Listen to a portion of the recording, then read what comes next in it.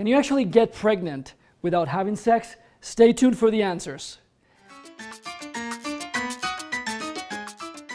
Bienvenidos, welcome back to your show, Health Spice and Life. I am your show host, Dr. Mario Torres Leon.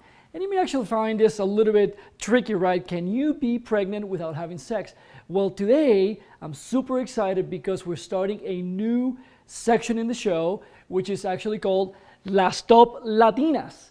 And this is actually about celebrating the women from the Latino world who've actually conquered and are celebrities in the Hollywood world. And today, as you will see very quickly, we're talking about a really special, extremely talented millennial woman, and her name is Gina Rodriguez.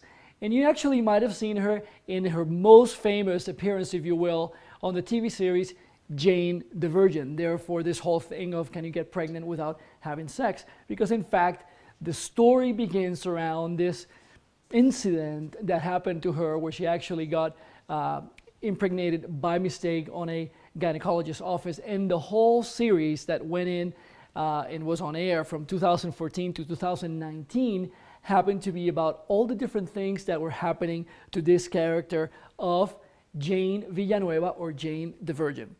Now, why is it that we're actually picking uh, this particular uh, top Latina, Gina Rodriguez, to start this new section in the show? Well, as a matter of fact, Gina is in her 30s. She is actually a millennial and she is of Puerto Rican descent. She was actually born in the city of Chicago in the state of Illinois here in the United States to a Puerto Rican family and started very early on her career acting in theater and eventually started to evolve into doing different gigs on TV until she landed this massive role as Jane Villanueva in the series of Jane the Virgin. And that completely changed the landscape because it allowed us to see as an audience how talented this amazing, beautiful, Latina, powerful woman uh, has in store and what she's been given to the audiences throughout the years, throughout different performances. But it doesn't actually end there because she has also been able to be the voice of Carmen Sandiego in the famous Netflix series by the same name, Carmen Sandiego.